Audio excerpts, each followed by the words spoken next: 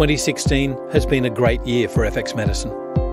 We've celebrated the first anniversary of our dedicated website, fxmedicine.com.au. And we're also very honoured and proud to be the recipients of the Complementary Medicines Australia CMA Award for Most Outstanding Contribution to Research, Education and Training. We love bringing you relevant content which is designed to improve safety and clinical proficiency. We're so very grateful for your continued support, and please do let us know what topics you'd like us to cover in the future by dropping us a line on fxmedicine.com.au, Twitter, or Facebook.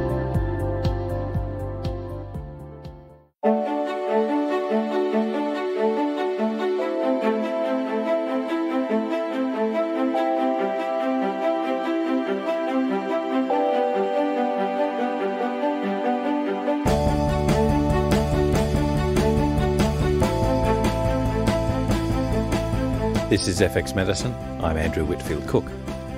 Joining me on the line today from, oh, we were going to say sunny, but Christchurch, is naturopathic doctor Lara Briden, who runs a busy hormone clinic in Sydney, Australia.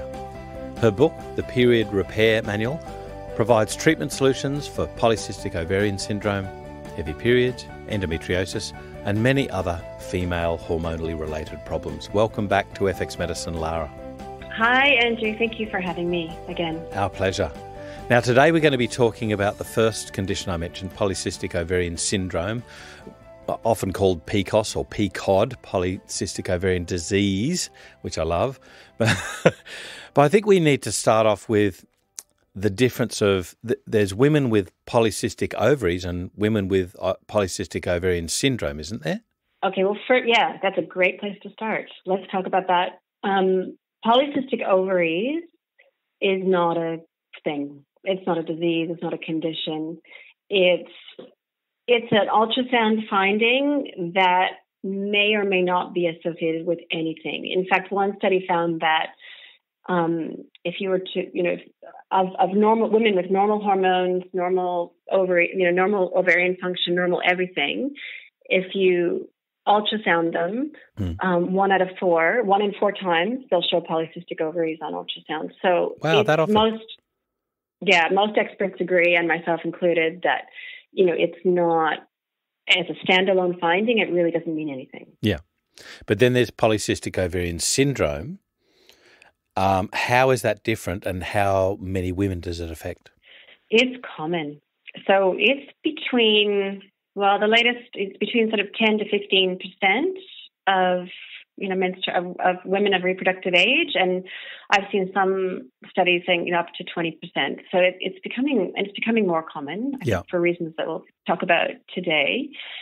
It's now it's a syndrome. It's interesting that yeah you, you quoted the PCOD or you know polycystic ovarian disease because it doesn't really qualify as a disease no. in that it's it's a description of symptoms. It's a constellation of symptoms, and it is a what's called an umbrella diagnosis. So it's a, currently a diagnosis that's given to women who have or you know meet the criteria of, of irregular ovulation mm-hmm. and ex- excess androgens or male hormones, and they what, what the research shows now is that they have come to that all all the different women who meet the, that requirement they don't all have the same condition. They've potentially you know all come to that place that set of symptoms for different reasons. Mm. so that's very important. It's not one disease. Yeah it's yeah a, like uh, my original learning was oh it's basically like a, a syndrome that's you know very highly associated with cardiovascular disease and pre-diabetes or diabetes. But that's not always the case either. There seems to be this you know, you've got to qualify for what was it, five out of eight types of symptoms. Is that right? There was a certain. Well, it depends on which. Yeah, it depends on which criteria you use. Right. Different groups have come up with different criteria. Gotcha. Um, the one I use, I'll just quote here, is the National Institutes of Health, the NIH criteria, which says um, what they're calling oligo ovulation. So irregular ovulation, not regular ovulation. That's a key feature yep. of PCOS, true PCOS. Elevated androgens. And then the third criteria is exclusion of other reasons ah, for that yes. those first two symptoms. Yep. And the NIH criteria does not include ultrasound findings, which is you know goes back to my first point. Yeah, yeah. Um, But uh, but uh, I think importantly also there it doesn't include this classical apple-shaped obesity because I've seen quite thin look looking women um, who have polycystic ovarian syndrome, and they might have issues with Yes. hirsutism and and things like that. For sure. Mm. Yep. So this comes back to what you, you mentioned um, about insulin, the problem with insulin or metabolic syndrome, insulin resistance, that underlies, it's an underlying mechanism and sort of an underlying reason for the estimate is about 70% of PCOS. And so on my, in my work, in my book, and on my site, I talk about types of PCOS. I really don't think it's possible to talk about PCOS without, without acknowledging the different types Yeah. because it's not one thing. We just established that. So, it for the majority of true, you know, women who meet the PCOS criteria, it's essentially being caused by, or you know, insulin resistance is a is a major underlying factor. Right. And that insulin resistance is, of course, also associated with cardiovascular risk factors. So, quite an important feature of the condition. But it, and so often insulin resistance is associated with obesity, but not always. Um, slim women can be insulin resistant. So that's important. It's important to test for insulin resistance and confirm that, whether that exists or not, whether that's happening for the woman or not. And then, but of the group, but then there are other women who have fallen under the umbrella diagnosis of PCOS, but they're not insulin resistant. And in my clinical experience, they actually do require quite a different approach. And you know, with I think, for example, if if a slim woman is if woman is not insulin resistant, she she should not be, for example, you know, pursuing the kind of popular low carb approach to PCOS that you know widely discussed online. That might be possibly you know the opposite Yeah. thing to what she needs. Yeah. Given that you you've spoken about insulin resistance being a, a sort of major underlying factor in, I think, did you say seventy odd percent? Is that right? Yes. yes so that that being the case, you'd be. I'm just going through the possible signs and symptoms in my mind, and I, I guess part of that would lead to the weight gain, but that's not in all people, as we discussed.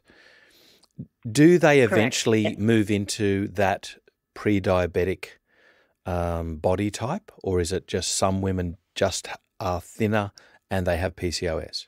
Yeah, I think it's possible. What's something that I've seen clinically? It's possible to have to be insulin resistant and to not be obese, or even not sort of become obese. Um, and you know, as you know, a sort of insulin resistant, by definition, is is, is kind of a pre-diabetic state. So, un, but it's a reversible state. So patients need to know that. You know, just because they've been diagnosed with metabolic syndrome or insulin resistance or prediabetes, it doesn't mean they're on the track to diabetes. It Yeah. can definitely be reversed with, you know, and, and natural treatments are one of the most effective ways to do that, which is why this is the perfect, you know, topic for naturopaths to, to know about and nutritionists to, you know, work with.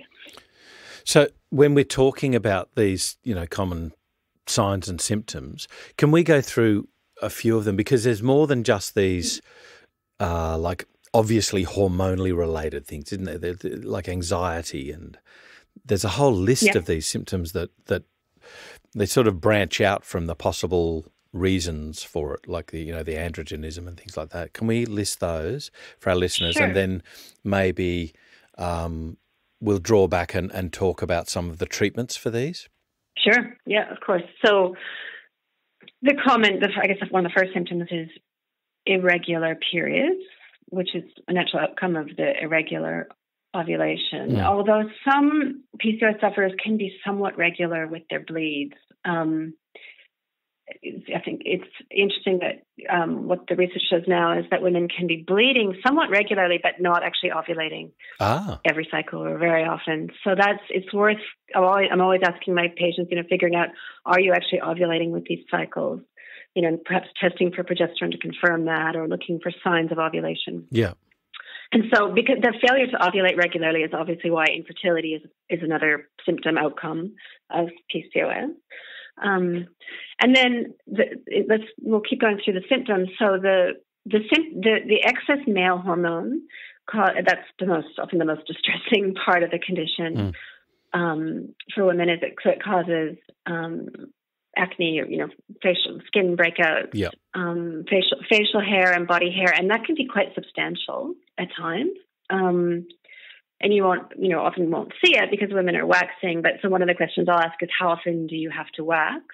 Oh, you know, your chin yep. or your face, and it's distressing. You know, so these young women are sort of having to do that, having to wax, you know, a couple times a week or something. It's, it's oh, um, certainly if they've got darker it's, hair, it's concerning. Yeah, absolutely. And and also the elevated male hormones could um, commonly cause hair loss. So that's another, you know, that's another presenting symptom.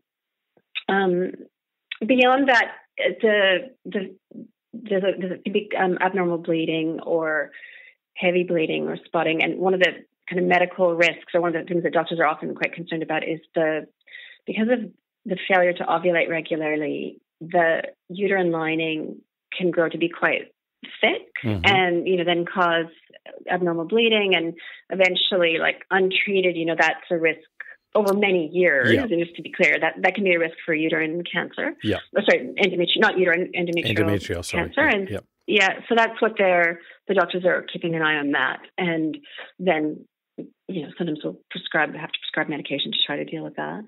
But you're, you're right about the anxiety and um, autoimmune conditions. There does seem to be a sort of a correlation with some of those other symptoms. And it's not so clear from the you know pathophysiology of the condition why that is, but certainly there's a in the scientific literature there's an association. Oh, look, I think if nothing more than you know things like social isolation and you know issues with acceptance, group acceptance, all of that sort of thing. You know the the pressure that women put on women and media put on women to to be a certain way, and if they're out of that mold, um, you know they're not they don't think well of themselves. And I find this very common of women. Yep. There's such pressure put on women.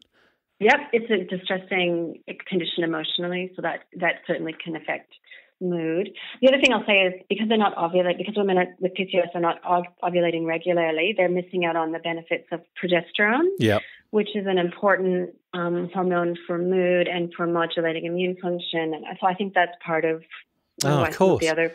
So even yep. things like sleep yeah. Yeah. Can affect sleep. Yeah. Now, one thing that interests me about the hair loss, so uh, forgive me, about the hair growth and loss is, yep. It, it, am I right in saying that they're going to mainly get hirsutism around the face, you know, the beard, the the the mo, the upper lip, um, and get the hair loss like a male pattern baldness type thing, or a thinning of the hair? Is that a thinning of the yep. hair on the cap? Is that correct? Okay, so here's what interests me is if that's the case, has anybody looked into why? why do you get, with the same hormone, an increase in hair on the beard and a decrease in hair on the head? Oh, well, it's the same as in men. It's just that those hair follicles are sensitized. That's how they respond to testosterone and androgens. That's just, huh. you know, that's the same in men. You know, that's testosterone will, when testosterone kicks in, you get, you know, a beard and in some men, you know, eventually. So it's a testosterone that promotes the male pattern baldness. And it is kind of a male pattern, can become a male pattern, like thinning at the front, mm. thinning at the temples, or yes, on the, just on the, the vert, like on the top of the head. And it's not just facial hair, it's body hair as well. So it'll be, you know, more kind of arms, legs, you know, bikini yeah. line. And also, one of the questions I always ask is, um, along the like a sort of a line along the lower belly and around nipples as well. Ah, those are you know, specific questions I'll ask clinically that are quite helpful. Yeah. Gotcha. So I, I, it's tweaked something in my brain. I need to learn about why the different follicles act differently to the same hormone. That's something for me to learn. And so, can I just ask? I, I guess that a lot of women would come to you having been through, or uh, at least currently undergoing, medical management. Can we go through the medical management of polycystic ovarian syndrome for our listeners? Absolutely. That's a good place to start. And uh, I'll say that the medical management has improved greatly over the last, because I've been working in, you know, in clinic for last but almost 20 years. And 20 years ago, the medical management was something called ovarian wedge surgery, with wedge resection. So you know, it used to be, and then and then for many years, it was just hormonal birth control was really the only yeah.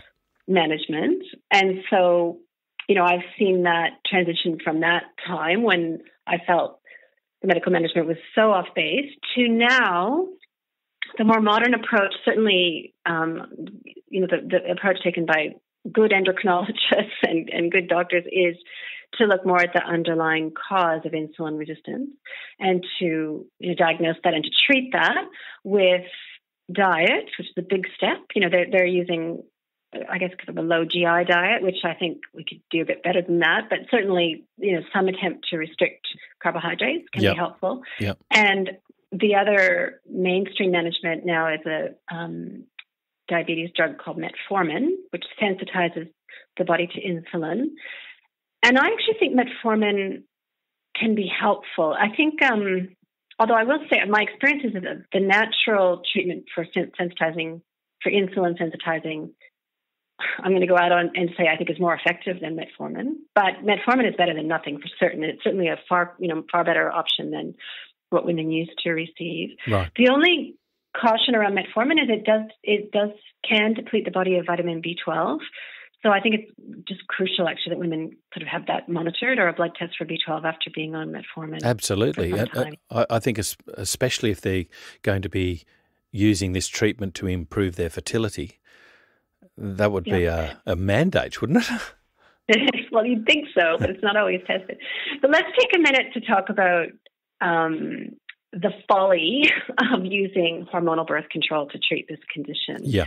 Because that that has been a standard treatment for you know for the last 20 years and it's still even today um, given routinely by by some doctors and it's not a good treatment and primarily one of the, the biggest problems with it is that hormonal birth control really all almost all types of hormonal birth control worsens insulin resistance and right. so they're they're using a treatment to come to shut down ovarian function, which can yes, you know, does reduce the androgens, but at the same time, it's unfortunately worsening the underlying re- you know one of the main underlying reasons for the condition. And then when women come off, they're pushed back. They're worse than they was bef- than they were before. Gotcha. So, and that's not just a naturopathic view anymore. They're quite prominent, you know, experts medical experts saying much the same thing. So, fortunately, we're hopefully maybe in the big picture leaving hormonal birth control behind, but in the meantime,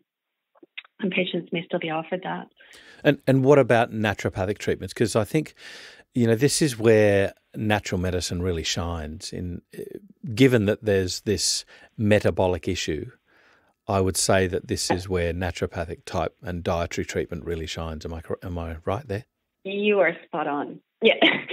um, PCOS is one area where naturopathic medicine really shines because mm. we have so much to offer um, offer women.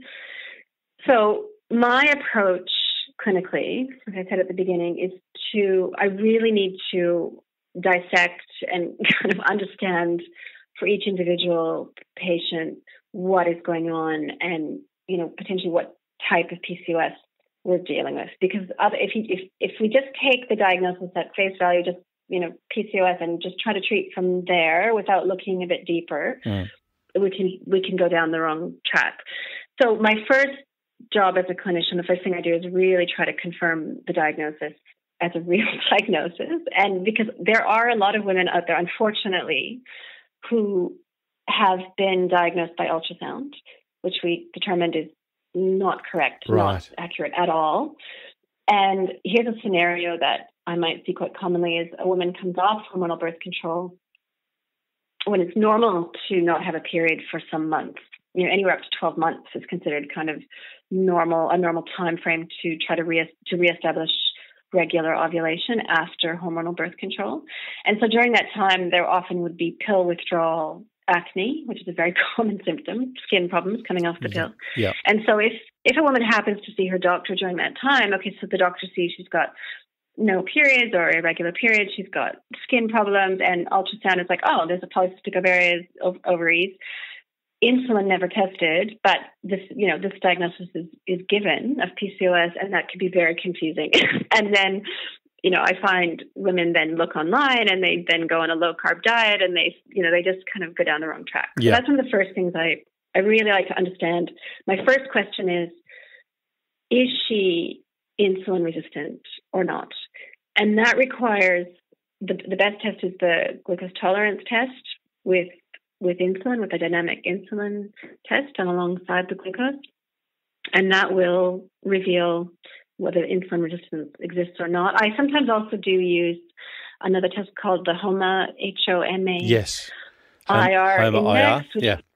Yeah, which is a ratio of fasting insulin to glucose, which is you know it's just a fasting test, so it's a bit easier to do.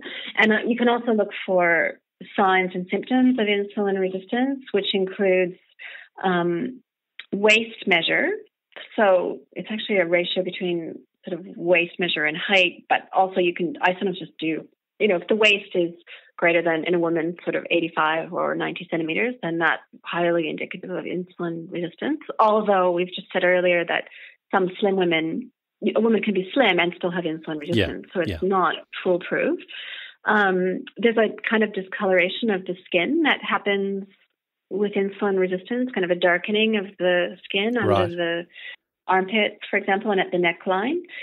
Um, and another just little easy thing for detecting or you know assessing insulin resistance, and I'm getting this from this brilliant PCOS summary by Sydney Professor Warren Kidson, which we can link to in the notes. Mm. The 2011 sort of summary that he wrote for Australian Doctor. And it's just really helpful, really, really great. Like, you know, he talked about a few things in there that um, I resonated with very strongly. But but one of the tips is using SH um, something called sex hormone binding globulin. That's a blood test, yep. and that that insulin suppresses that. So when insulin is high, as it is chronically, and insulin resistance, then SHBG will be low. And so that's just another kind of easy thing to ah. look at. Some of the liver function markers, something called ALT, is elevated with insulin resistance. So there's a whole, you know, picture, mm. clinical picture that you can look at.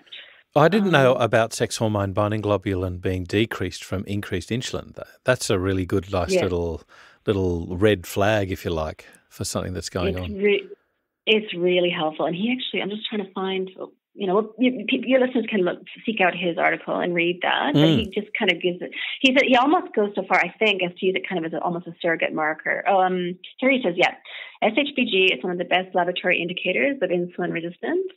Values less than 38 nanomoles per liter are diagnostic of insulin resistance. Wow, so that's very helpful. Yeah, and also SHBG will improve with treatment, so you can use that to monitor um, somewhat. Yeah.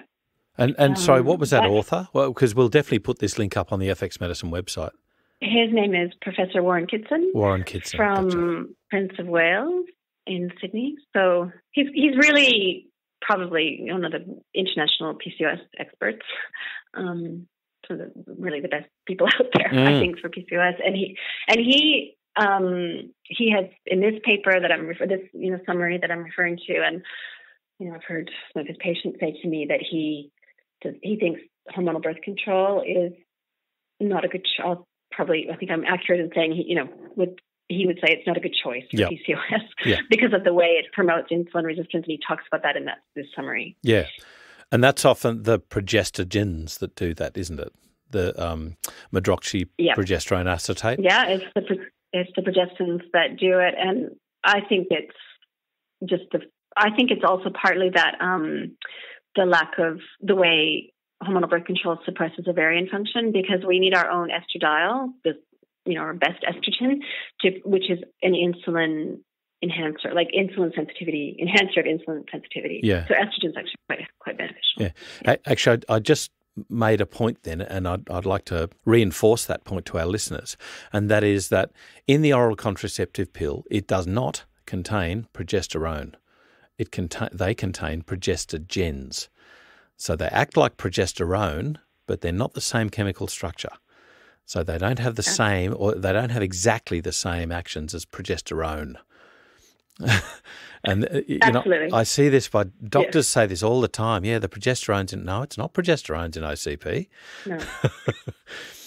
No. um, it's, it's a it's a very different molecule, and it has a few similar effects to progest- progest- the progestins and hormonal birth control have a few similar effects, but they have many differences.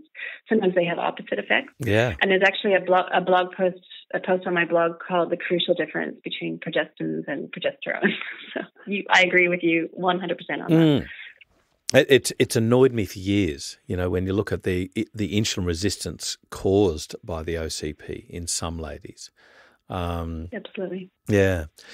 So moving on to hormonal treatments, I mean, it's really interesting that now we're seeing even in the scientific literature that you know there's there's a real call for for confirmation of the of the actions. Um, because even like Alan, I think Alan Bensoussan wrote a paper um, saying, look, there seems to really be some good action here from mainly herbs. Um, at least what they looked at. And so we really need to look at these findings and, and confirm them. Can we go through some of those major uh, medicines that you use, natural medicines that you use, and talk about how they work with women with polycystic ovarian syndrome? Yeah, let's go through kind of a short list, not so short, but a list of natural treatments that help to improve insulin sensitivity and therefore can dramatically improve PCOS in in the you know, the insulin resistant type of PCOS. So the first thing is not a not yet a medicine, but I'll, you know, it's a diet change, yeah. which I just really have to enforce, which is to reduce fructose in the diet. Mm-hmm. So I'm in the camp that thinks, you know, I'm convinced from the, the current literature that high, concent- you know, concentrated high dose fructose, whether it's from table sugar or you know high fructose corn syrup or even honey or dates or agave or all the fructose sweeteners yeah. that that impairs insulin sensitivity it impairs leptin another hormone called leptin and it my clinical experience is that to remove dramatically remove reduce fructose in the diet can is a game changer for insulin resistance. So, so, so can, can I ask that one? Yeah. How much do you have to reduce? Like if somebody's having, say, four cups of coffee a day with two sugars in each cup, is that too much? That's too much. Right. I think so. I said whenever as soon as I say fructose, the first question I get from my patients is, "Oh, do you mean fruit?" So I mean, you know, I think uh, you know one or two pieces of whole fruit in a day is mm is a reasonable thing for someone even with insulin resistance, but no concentrated fruit, like no fruit juice, no dried fruit, no sugar, no honey. Mm. And that and there's all the hidden sugars too, like in sweetened yogurts and muesli bars. And, That's you know, a real trick. And, yeah. That's a real trick. I, I'm going to go so far as to say the natural medicines will not work unless you know someone can also give up fructose. Like yeah. it, it's that it's that critical. Yeah. And you go and through this in your book, right? Yes, I talk about sugar in my book. Yeah. And it doesn't have to be forever because that's a hard call, especially for someone who might be addicted to sugar, which I think you know is real. Or yeah. um, that can be quite a frightening idea to give it up. So I try to give a lot of support, nutritional support to reduce cravings, and just you know, people need emotional support to, mm. to make this change. It's not as easy as it sounds. And then, but insulin resistance is reversible. So once they regain some insulin sensitivity, then I think it's reasonable for people to, you know, start having some amount of honey and you know, having some of that that back in their diet to a moderate degree. So yeah. it's yeah, it's not a life sentence. Yeah. um, so that's the first thing, and also the insulin um, sensitivity is improved quite a lot by the timing of protein. So having, you know, protein in the morning yes. can really help. Fasting overnight, you know, I, am a big fan of not snacking after dinner, like having the dinner and then that that's it. Um, even some degree of, depending on the woman and whether it's suitable, pos- you know, some degree of inter- something called intermittent fasting can be yep. helpful. I use that in my practice. So is this and kind of like the five two diet, that sort of thing? Yeah, and I think uh, women often need a gentler, sort of different version than men. Yeah, because of our way our stress hormones are calibrated, and so I one like one simple thing. There's also many different types of intermittent fasting, mm. but one example of something that a lot of my patients quite like is something called the eight-hour eating window. So right. eating between o- yes. only within kind of an eight-hour time frame during the middle of the day, like yes. ten to six or something like that. Yeah. Um, it's it's simple and it's usually quite doable, and that so that can be helpful. Yeah. Um, exercise is also very helpful, and that's in agreement. Everybody's in agreement. You know, yeah. natural therapists and mainstream therapists. Absolutely. It, it's sensitizes to insulin. Yeah. Is, is there any particular exercises though? I, like I, I seem to recall um, Dr. Mark Houston, um, who's a cardiologist, um, saying that everybody does the cardio first and then the strength, and he says no. He says do the strength first and then the cardio. Yeah. And I'm like, I, well, I would, well, my understanding of insulin sensitivity, yeah, it's, it's where you where you regain insulin sensitivity is in the muscle. Yeah. So certainly building some muscle mm-hmm. and tone of like you know strengthening muscle yes can be very very so i would i would agree with that right that makes sense oh me. cool yep um okay so those are the that's the baseline yeah but then what we can what i can do now is just speak through you know some of the supplements that i find most helpful um, and that there is quite a amount of literature you know scientific literature support for I think almost all of these things I'm going to talk about now. So depending on, well, I know you like to include some references at the end of your podcast, but yes. it would be literally dozens of things. Like there's quite a bit of research on these. That's okay. So I there's can space on I the website. okay. All right. Well, one of the best ones is magnesium, which I call, I refer to as the, the natural metformin. Like it's it's highly it sensitizes to insulin quite strongly. And magnesium has lots of other benefits because it reduces, you know, it helps to modulate normalized stress hormones. So it's quite calming and feel good, and it can help reduce sugar cravings and help with sleep, which helps reduce sugar cravings. So, as my patients can tell you, I prescribe magnesium for almost well, almost every person with PCOS, really, or insulin resistant PCOS. Mm-hmm. It's extremely helpful. And it's not very expensive, so it's a very good starting place. Um, and after that, then I think one of the next ones is lipoic acid, which alpha lipoic acid, which sensitizes to insulin, and in fact, in Europe, is you know pres- is a prescription like is a medicine for you know diabetes and yeah. diabetes. Like it, it, it's there's a lot of research around that, and, and yet, it, it yet, is helpful. And yet, yeah. you know what? I yeah. like it's an obvious one. The research is on, uh, you know, preventing diabetic complications, and yet I would have never chosen that in my in my uh, ah. uh, repertoire. And yet, it's an obvious one. Yeah. So that's a that's a good little wake up call. Thank you. Yeah, it's a great one.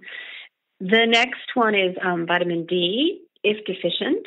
And in Dr. Professor Kidson's little summary that I referred to before, he talks about how common vitamin D deficiency yes. is in PCOS, and I I think it it's it often goes hand in hand with insulin resistance. So correcting vitamin D deficiency can can induce ovulation. I've seen it; it it's very helpful, huh. and but but I'm not in the camp of I don't go really high with the doses because yeah. I think I try to stay in the kind of you know 2,000 units a day range because there are times, yes, when even you know you give vitamin D and the blood test doesn't improve, but some of that's to do with the inflammatory, the sort of the nature of the condition itself. I think that that low D can, what we're seeing now is possibly be a symptom of the insulin resistance and not just D deficiency. So mm. I don't like. I'm just giving a caution. I don't like women to take like you know, 50,000 units or what some people are doing for, I don't think that's necessary. Oh, that's, that's so, really high. But I, I do yeah. recall a Michael Holick saying that obese people, uh, you know, if they're a polycystic ovarian syndrome sufferer that, that has the apple shaped obesity, um, that o- obese people, um, the vitamin D basically gets sequestered in the fatty layers of the skin. Or the, forgive me, the 7 dehydrocholesterol gets sequestered so that it can't change into vitamin D. So he advocates that obese people take three to five times as much as other people. So if we're talking about 2,000 units, that could be 6,000 odd units per day to sort of start to see a shift. And I don't see that as being an issue, um, at least not short term. I remember Reinhold Vieth talking about, um, you know, 10,000 IU per day won't basically land you in court. Um, you know, you know, he basically says, um, you know, if if there's any not remembering his quote, but it says, um, if there's basically any ad- adverse outcomes from taking 10,000 IU, I have yet to find it. and that was an older uh, a paper of his. But so you tend Yeah, to go on the lower end of the spectrum and getting what natural sunlight. Yeah, you are right about actually obesity does tend to cause a lower D state, and I think it is partly yeah, it's a, it's a problem with the they're not getting the, the benefits of the sun activation from the skin. Um, yeah, look, I, I'm, I'm not going to go on record as a you know an absolute maximum limit. I think yeah, I think it's reasonable to go up to five thousand per day over you know short term and being monitored. Yeah, Yeah, yeah. I, I think need the more. thing is short short term and then bring it down. Um, Yeah. Like I don't, I seriously don't see an issue with five thousand IU. Jenny, um, Dr. Jenny Gunton of Westmead um, Hospital found was using five thousand IU per day in uh, pre-diabetic or diabetic women, uh, pregnant women. I think it was actually um, because they were so deficient in vitamin D. yeah. But but that's a certain Yeah. subset of the population. Yeah. But look, I'm taking away from your thing anyway. So so you No. tend to go smaller doses, and do you measure or do you just dose? I do measure. Well, I do measure. I, I like to see if there's a deficiency, but I don't. I guess what I'm saying is, give it even if you're you know giving say five thousand units a day, and it's not coming up on serum.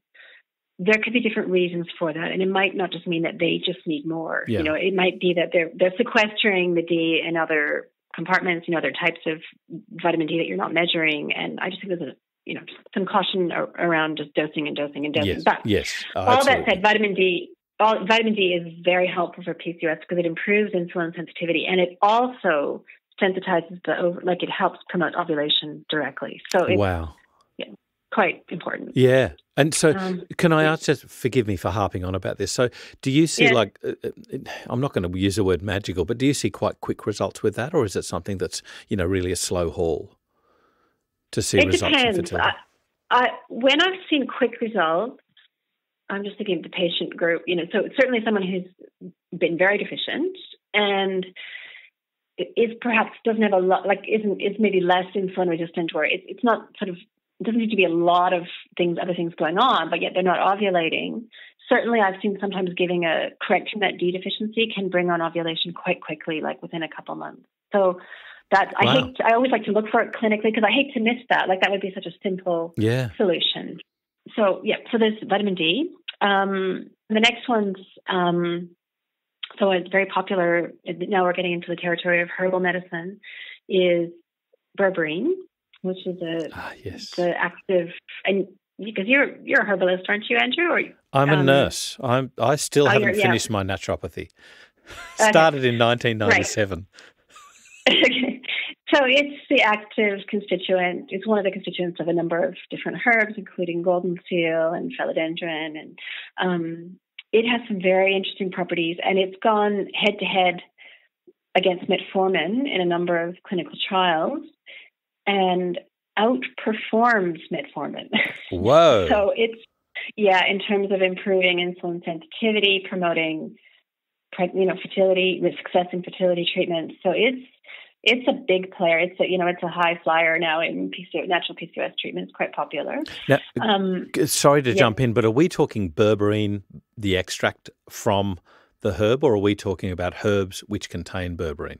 well, potentially both. The clinical trials have been done on berberine, the extract, Mhm. and some, sometimes I do recommend that use that with my patients. But um, I had a combination conversation with a herbalist on my Facebook page the other day. She uses a phellodendron, Yeah. straight phellodendron, which and you know gets similar results. So I think the berberine containing the whole herb containing berberine can be helpful as well. Yeah.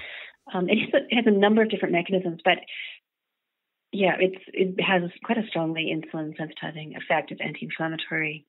So, but it's just for your listeners, berberine does require a bit of thought or preferably some supervision professionally because it it's not it, it you know it's a reasonably safe herb, but it has some precautions like it um, can interact with other medications and change the doses of other medications, you know some psychiatric medications. So it's you know if your doctor if you're on other medications, you need to think this through and Yes. speak to somebody about it. Yeah. And also, it's not safe during pregnancy. So it it can be used. My opinion is it can be used carefully used. You know, in leading up to pregnancy. But if uh, you know, some women, some people might stop, choose to stop it in the luteal phase, for example, or post ovulation, just to be sure. Or certainly yep. stop it.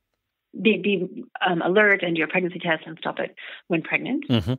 And also, and also it it um, upregulates cytochrome P450 enzymes and it um, you know affects gut flora. So I am moving more to kind of pulsing that herb, not doing it continuous dosing every day, but maybe doing it for you know 10 days on or four days off or some weeks on and some weeks off just to it, use it that way. Yeah. Yeah and there are and then there are literally dozens of other things potentially that can improve insulin sensitivity. And one of the reasons that so many things help insulin resistance is because it's quite a if you will, like quite a deep part of our physiology. You know, it's the insulin signaling is happening in the cells and in the mitochondria. So anything that kind of improves cell health or mitochondrial health potentially can improve insulin right. sensitivity. And that includes something called N-acetylcysteine, which is another popular supplement. um, that's just finding utility yeah. in so many areas, isn't it? like, yeah. Just amazing. It is, yeah. Uh, like yeah. years ago, it was like, oh, it's an antioxidant, it causes glutathione. No, no, no. You know, way more. well, yeah. in, in, nursing, well, it's a mucolytic. You know, in in medicine, well, you know. yeah, it's partly because glutathione affects so many things. That's, mm. that's part of, I think, all the reasons. Yeah, but it has other mechanisms apart from glutathione. So th- those are. I, I'm going to make sure we've got a bit of time today to talk about other treatments for potentially for non-insulin resistant PCOS. Yeah. Yes. Because, um, I mean, th- those ones that we just listed are my front line. Once I've confirmed that someone is insulin resistant, whether they're overweight or not, that's the direction I go into all of those things we just talked about. Yeah. But for those kind of smaller number of women that are um, just maybe post pill, not ovulating, but they are showing some high androgens, but not um, not insulin resistant. It, I, I start to look at you know what type of androgens are elevated. So what the literature is showing now is that there certainly is a portion of women that under current guidelines kind of meet the criteria for PCOS, but really they're, they're dominant in what they've got are um, adrenal androgens mm-hmm. rather than the ovarian androgens, which adrenal androgens are not so are not from insulin resistance. So insulin resistance promotes an increase in ovarian androgens um, and a also, you know, decrease in sex hormone binding globulin, so therefore higher availability of testosterone. But adrenal androgens is kind of a different picture, and I think responds better to things like, well, certainly stress management, reducing stress. Yeah. You know, reducing, you know, the HPA axis activation. So that could be meditation and getting more sleep, and all those things, and magnesium again. But um, also, I, I do use um, a herbal combination of peony and licorice. And so ah, licorice yes. has a Yes, so licorice. And again, licorice is a herb that requires some thought because it can elevate blood pressure. Great. You know, it, it, it, I was yeah. going to ask you about this pointedly. yeah. So it's it's almost you know um, there's some herbal medicines that are almost anyone can use things like turmeric and quite safe, but some herbal medicines require just a bit more care mm. and advice, preferably. And licorice is one of them. But it it works. It has an androgen lowering effect, and I think it works particularly well for adrenal androgen excess. Right. I just wanted to, I guess, clarify that point on licorice. When you're using, let's say, paeonine licorice, it's the traditional TCM formula. Um, when you're using that, how alert do you have to be for issues with licorice in, say, uh, you know, polycystic ovarian sufferers who have got the apple shaped obesity, they've got cardiovascular risk factors, increased blood pressure already. How often do you find that that sort of dose, if you like, is an issue? Or do you find that it's when you start to use licorice uh, as a high dose? Like, how often do you see issues? Yeah, that's a great question. Well, I guess as a clinician, I don't prescribe that formula when there is high blood pressure already. Right. Gotcha. So I, I would measure blood pressure if someone's blood pressure is already elevated, which is not the majority of PCOS sufferers. But if that's the case, then I choose other things. And usually that metabolic syndrome, insulin resistant type of PCOS, they need all the other things we've just listed before. So if we're talking about these slim PCOS sufferers with adrenal androgen excess, they often have low blood pressure, typically clinically, I see. So uh-huh. I, I'd measure their, I'd get a baseline blood pressure and monitor it. You know, I try to remember to, to or ask the patient maybe to check it once a month or something, just to stay on top of it. Yeah. Um, and I don't find in someone who heads in like takes it with starts with a normal blood pressure or slightly low blood pressure, I don't find it has a dramatic effect, although I think it's worth monitoring. Yeah. And also it doesn't have to be used every like this comes back to the idea of kind of pulsing herbs, maybe using it for a couple of months and then taking a break. And you know, it um that's another way to like guess modulate that risk of blood pressure. But it's just it's worth checking. Yeah. I, I think I think the biggest thing there is blood pressure is probably the most useful death prevention tool that any practitioner can use in their practice over a lifetime. hmm. Monitoring blood pressure. And yeah. I think, you know, doctors should be doing it every single time a patient, certainly an older patient, comes into their practice. They don't. They just don't have time. And I think as natural practitioners, we have that time. Um, yeah. So I, I, just think it's so simple. It's just so simple. You can have a chat while you're doing it. It's it's just and it's so important. It's so easy to do. Yeah. Well, can I ask, what about one of my old favourites that it's not used nowadays very much because of its expense? It's hard to grow, it's hard to procure, and it, it's it's a costly herb, and that is false unicorn. Yeah, I don't have a lot of experience prescribing that herb actually. Mm. Um, I think you know, just perhaps my sort of particular training in Canada wasn't one of the herbs. I know it's commonly prescribed in Australia, but I don't, I don't want to. I don't feel qualified to speak about it because it's not one of my yeah common prescriptions. And and what then about um, you know, some of these other herbs like actually the balancer, the the old balancer herb, um, um Vitex. How often do you use ah. Vitex? That is a very good question because I'm going to go on record here and say that I think Vitex can be a problem for PCOS. Yeah, sure. And so I love Vitex and I prescribe it frequently for, I mainly use it for PMS. Yep. And for, say, per- perimenopause when ovulation is becoming less frequent, and for another condition called hypothalamic amenorrhea, with, you know, um, difficulty ovulating regularly. So it's it's a mainstay for me, but I'm very cautious with PCOS because I have seen it aggravate the condition. Right. And I think the mechanism is that it.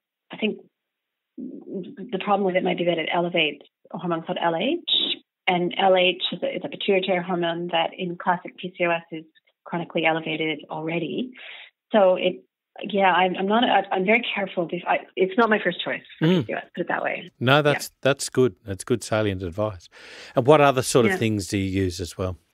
Well, one of the things I want to make sure we talk about is zinc ah, because oh, yes. it's a natural and it's an androgen. It reduces androgens. It's an um, also I think it has a, a blocking effect at the androgen receptors. It promotes ovulation, so it helps. And it also helps with symptoms like you know acne and it's good for hair. And so zinc is in my book I talk in my the PCOS chapter in my book chapter seven I talk about zinc being kind of the all rounder very potentially very helpful for PCOS and quite safe to use. I, I do try to fairly routinely measure zinc and zinc is deficient in a number of women. It's deficient for a couple of reasons. Well one is it's depleted by hormonal birth control so straight away, anyone who's been on hormonal birth control, even if they've now stopped it, I have to you have to consider zinc deficiency. Um, and also, it's it's primarily obtained through um, red meat and animal products, and some you know, many of my women patients are for various reasons reluctant or have been avoiding reducing meat, yep. and so they're, in my view, at risk for zinc deficiency. So it's a simple one too, and it's one of those ones where I would hate to miss it. You know, if if, if a woman's zinc deficient, if she doesn't until she corrects that, none of the other things are going to work. Mm. It's one of those foundational minerals, isn't it? Zinc, B6, magnesium. Yeah. yeah. Yeah, we talked about this in our last yeah. podcast, I think. Yeah, yeah. it's true. And, and it, like sometimes I used to prescribe, and I've got to say, it was mainly men who would uptake this, and, and oysters.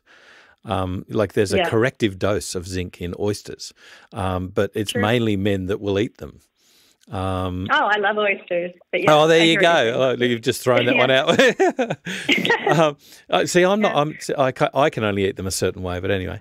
Um, mm. Yeah, it was. I just found it interesting that it was mainly men that would uptake that that consideration. They go, "Thanks mm-hmm. very much. I'll take the pepitas and the yeah. zinc supplement. Thanks." what about safety issues with using minerals? I guess especially in the I guess just being cautious about people with cardiovascular risk factors and they may be heading towards things like renal disease if they've got hypertension or something like that. Do you find that there's a real issue or what do you monitor to make sure that you're doing safe practice? Well, renal disease is the primary contraindication for magnesium because that's sort of the one situation where the body cannot easily clear magnesium. Yeah. So with someone with confirmed renal disease, I probably would not prescribe it, except you know in consultation with the specialist. But um, for everybody else, it's very safe. Magnesium is incredibly safe. The one complaint is that it can um, cause loose bowel. Yeah. It's an osmotic laxative that draws water into the bowel. So depending on the type of magnesium, some types of magnesium are gentler for the bowel than others, and also you can space out the dosing during the day. But it, it's very safe because the body just dumps it. And also, one of the reasons so many of us are deficient in magnesium is because we dump it during stress. The body actively removes it. Yeah. So that's why all of us, you know, working and commuting and drinking coffee, and we need more magnesium probably than our ancestors did. Um, so that's magnesium. And the safety around zinc, I, I, just try to monitor it. So maybe after three or six months on zinc, check it again. And you can check it in combination with a copper balance because zinc and copper yeah. um, compete against each other. So the, the potential risk of excess zinc consumption is a copper inducing a copper deficiency. Yeah, but like e- even unusual. zinc, like uh, uh, like I've used quite high doses short term, and then you just make sure that you're not doing it for too long. You know, being silly and, and causing an adverse. Um, uh, sorry, an inadvertent um, copper deficiency and leading down the the path of cardiomyopathy. Um, but, you know, even things like 100 odd milligrams per day in broken up doses, I've used that in certain situations. But do you, would you have to go that high in polycystic? I don't go that high. But short term, I think that would be okay to do that. Yeah. I, I, typically go in the 30 to 40 milligram yeah. range. And one thing to say is the most common side effect of zinc is that on an empty stomach, it's oh, too yeah. high dose, it will it will cause nausea. Yeah. So you need to advise your patient about that. You don't want them get it because it can be quite unpleasant mm. to get that sick. So it's short lived, but so you always after food and maybe start at a lower dose just to make sure their stomach is tolerating it. Yeah. And what about B6? How high have you gone with that? There, there seems to be this sort of um, oh, don't use high doses of B6 because it'll cause paresthesia, and and yet um, it can be used to treat certain types of paresthesia. Um, but there seems to be a sort of, you know, the adverse reactions that are noted in the literature are quite rare. How often do you see adverse issues with B6? Well, I've never personally seen that happen. I know, but I know it's real. Um, I guess I, I tend, tend to stay quite low. So I use activated B6, the pyridoxal 5 phosphate, and I would stay like I don't usually go more than put a 60 or 90 milligrams a day and maybe short term. I use B6 primarily for PMS yep. treatment. Yeah. So I think it's, it's reasonably safe. Yeah. So we've gone through the major herbs, the nutritional supplements, indeed some of the nutraceuticals like NAC. Any other supplements that uh, you use commonly in PCOS and um, any other thoughts on the responsible treatment of polycystic ovarian syndrome? Okay, yeah. Well, one other, I'm just thinking of symptom relief because, of course, I like my patients to feel better, and they're usually most concerned about their skin and their hair loss, and they're wanting something to work yeah. quickly while they're working on some of the underlying conditions. So, one of the supplements I'm recommending more these days um, is something called DIM or diindolylmethane, which is an extract from cruciferous, which is a natural androgen blocker. Mm. So it's quite famous for being an um, promoting healthy estrogen detoxification, but it has another effect of being an androgen blocker, and it's extremely popular, and it's you know quite it's safe. So that's another just consideration. Yeah. And in closing, I'll just say again to clinicians or you know patients listening, just to try to don't take your PCOS diagnosis at face value. That's my final advice. Really try to understand which, for first of all, if you're insulin resistant or not, which androgens are elevated, whether it's ovarian androgens or adrenal androgens, and try to get it. That'll help you get a better understanding of the, on some of the underlying mechanisms in your type of PCOS. And for more information about types of PCOS, you can see my book or my blog or some other yeah, podcasts yeah. that I've done about types of PCOS. And that's a beautiful segue, Lara, because I was just about to mention your, your website. So, um, mm-hmm. listeners, if you want to access Lara's book, um, go to larabriden.com. That's L A R A B R I D E N dot com, and you can access Lara's book and also obviously post on the blog there as practice.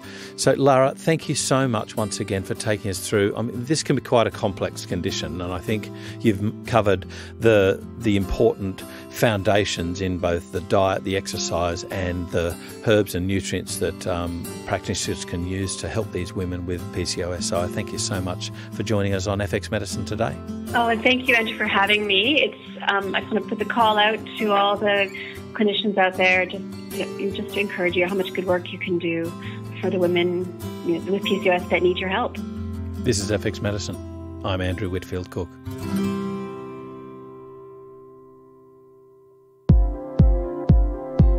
FX Medicine is your gateway to news, resources, and information on the safe, evidence based approach to practicing complementary and integrative medicine. Visit fxmedicine.com.au to sign up for e news and stay up to date with the latest research, podcasts, and industry information.